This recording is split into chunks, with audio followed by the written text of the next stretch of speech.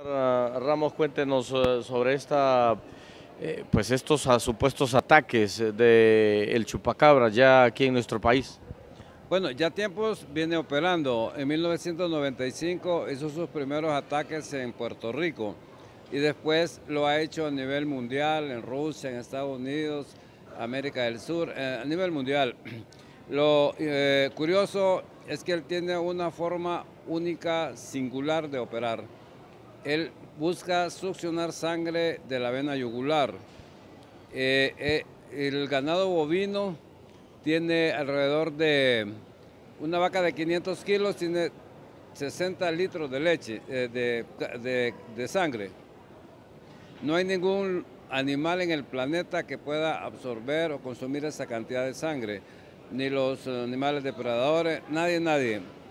Él sí lo hace, además eh, extrae órganos vitales eh, con cortes perfectos que no explica la ciencia la calidad, la superioridad de los cortes que él hace.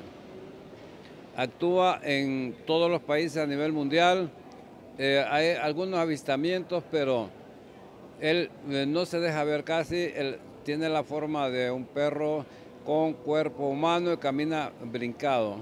¿Se trata de un solo animal o alguna manada? Bueno, un solo animal. De, un animal es lo que han identificado, eh, pero no se logra como capturarlo, porque él, él tiene un nivel superior de inteligencia desde el momento que él hace estos cortes, desde el momento que logra succionar sangre de la vena yugular sin sujetar el ganado bovino, o sea que entra en hipnosis el ganado o, como en el caso de nosotros, eh, no sería posible que yo succione o toque un animal, sobre todo en el cuello, porque me va a golpear, no se va a dejar. Eh, él sí lo hace, a no ser que nosotros utilicemos métodos de anestesia, ahí sí lo podemos eh, doblegar. recientemente está atacando aquí en Ciguatepeque. Yo le hago un llamado a todas las personas, si este caso se presenta, no que murió una vaca, por eso no me voy a llamar, eh, con todo gusto lo vamos a apoyar con la prensa para que hagamos la necropsia a la vista, si es o no lo es, eh, o, si es una enfermedad, bacteria, virus. ¿Cómo viene este animal? Bueno, no se sabe porque eh, los primeros casos como de ataque fueron en, en Puerto Rico, pero se cree que es extraterrestre, aunque algunos amigos míos dicen que proviene del Empira, ¿va? que de allá viene, entonces eh, se le ocurre a ellos decir eso.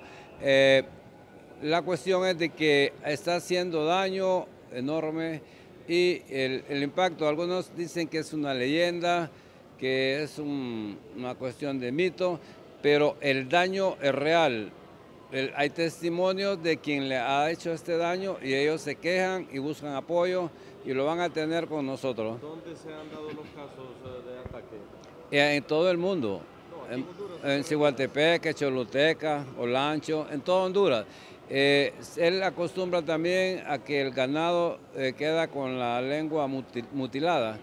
Cuando un animal mutila la lengua, queda como mordida. Allá hace cortes perfectos, los cortes. ¿Qué podemos hacer para poder...?